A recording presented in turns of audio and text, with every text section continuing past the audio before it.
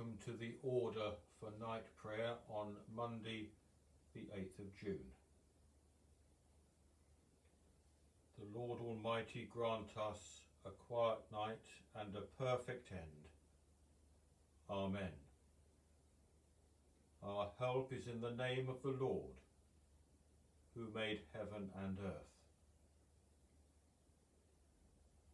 We keep a moment or two now to reflect upon the day is coming to an end and upon our faults and our failings, our sin against God and our neighbour.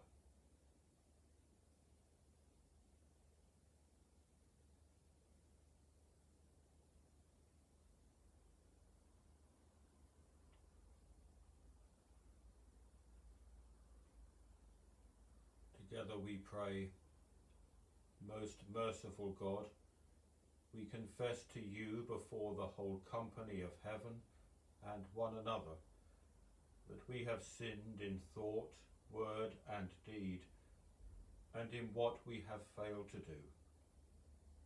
Forgive us our sins, heal us by your Spirit, and raise us to new life in Christ. Amen. O God, make speed to save us. O Lord, make haste to help us. Glory to the Father, and to the Son, and to the Holy Spirit, as it was in the beginning, is now, and shall be forever. Amen.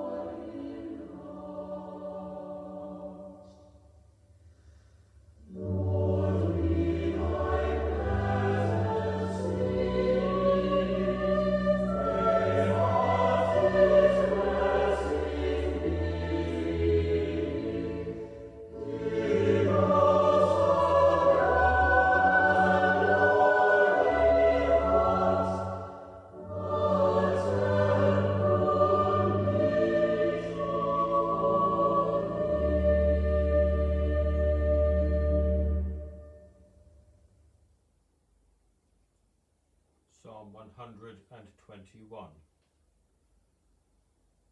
The Lord shall keep you from all evil. I lift up my eyes to the hills. From where is my help to come? My help comes from the Lord, the Maker of heaven and earth. He will not suffer your foot to stumble. He who watches over you will not sleep. Behold, he who keeps watch over Israel shall neither slumber nor sleep. The Lord himself watches over you. The Lord is your shade at your right hand, so that the sun shall not strike you by day, neither the moon by night. The Lord shall keep you from all evil. It is he who shall keep your soul. The Lord shall keep watch over your going out and your coming in, from this time forth for evermore. Glory to the Father, and to the Son, and to the Holy Spirit, as it was in the beginning, is now, and shall be for ever. Amen. The Lord shall keep you from evil. Lord, ever watchful and faithful, we look to you to be our defence, and we lift our hearts to know your help through Jesus Christ our Lord. Amen. Our reading is from St Matthew's Gospel, chapter 5, verses 1 to 12. When Jesus saw the crowds, he went up the mountain. And after he sat down, his disciples came to him. Then he began to speak and taught them, saying, Blessed are the poor in spirit, for theirs is the kingdom of heaven. Blessed are those who mourn, for they will be comforted. Blessed are the meek, for they will inherit the earth. Blessed are those who hunger and thirst for righteousness, for they will be filled. Blessed are the merciful, for they will receive mercy. Blessed are the pure in heart, for they will see God. Blessed are the peacemakers, for they will be called children of God. Blessed are those who are persecuted for righteousness' sake, for theirs is the kingdom of heaven.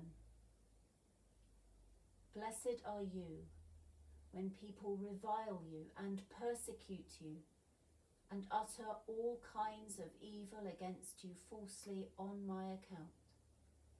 Rejoice and be glad, for your reward is great in heaven. For in the same way they persecuted the prophets who were before you.